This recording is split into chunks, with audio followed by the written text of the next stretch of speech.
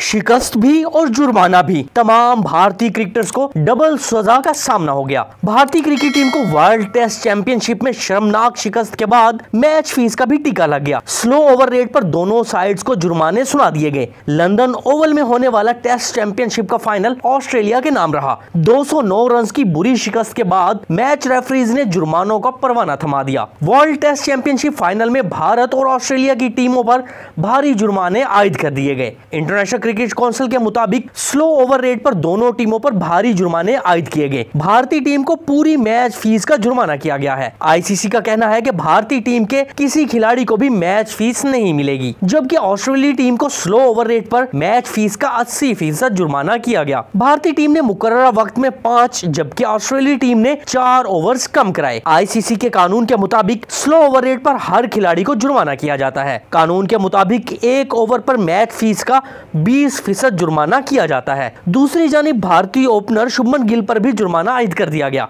शुभमन गिल ने आउट होने के बाद अंपायर के फैसले पर तनकीद की थी। शुभमन गिल आईसीसी के आर्टिकल 2.4 की खिलाफ वर्जी के मुरतकब करार पाए हैं। भारतीय ओपनर पर मैच फ़ीस का पंद्रह फ़ीसद जुर्माना आयद किया गया है।